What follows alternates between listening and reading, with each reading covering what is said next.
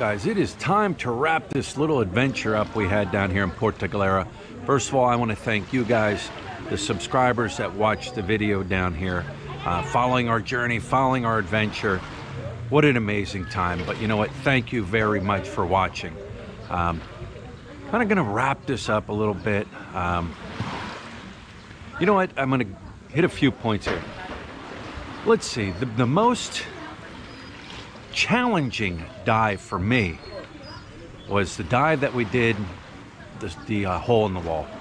That was that was the most challenging for me because it was me overcoming my fear of the hole in the wall um, from the last time we were down here, and the current was so bad, and you know dealing with the current and everything like that. But I would say that was the most challenging dive for me. The most um, crazy dive, I guess you could say, was that Mini Jaws.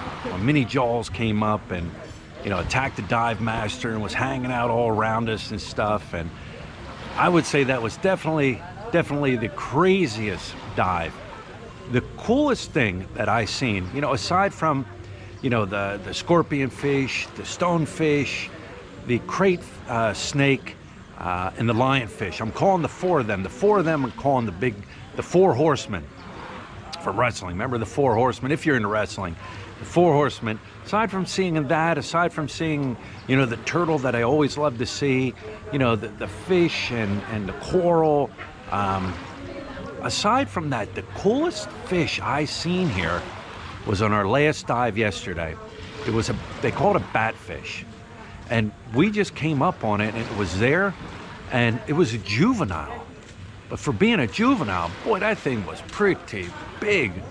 Um, they say they get big. They say they get real big. I was told a lot of times you got to you know when you see them big they're kind of in a deeper area. But yeah the batfish i think was the coolest fish. Um, so anyways you know what guys if you have dreams of diving, and that is what you want to do. I know things are still locked down. Uh, you still can't get here, but you know what? I recommend diving if you know if that's your dream. Follow your dream. I mean, you look at the ocean, and it's just calm on top. But when you go down in the ocean, it is literally a, a, a whole new world. What was that from The Little Mermaid? A whole new world? I think that was it. Uh, we're under the sea, under the sea.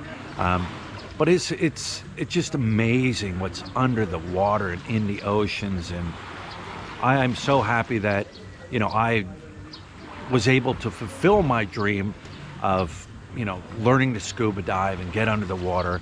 Uh, we have what do we have? 20 total of 27 dives in now and counting. So we're like a quarter quarter of the way to 100 uh, so anyways i'm going to leave this I'm going to leave you guys at the end here with some of the footage that I just didn't put up. I mean, we did so much diving. I took so much film um, that I, you know, I, I couple hundred, couple hundred clips of under the water and just different things. So I'm going to leave you guys with, you know, just a little montage of things we've seen and things I didn't show you before. Um, so, anyways, with that being said, take care of yourself, take care of each other, Take care of the sick, the elderly, and the young. your pets, take care of your pets and enjoy the rest of the video.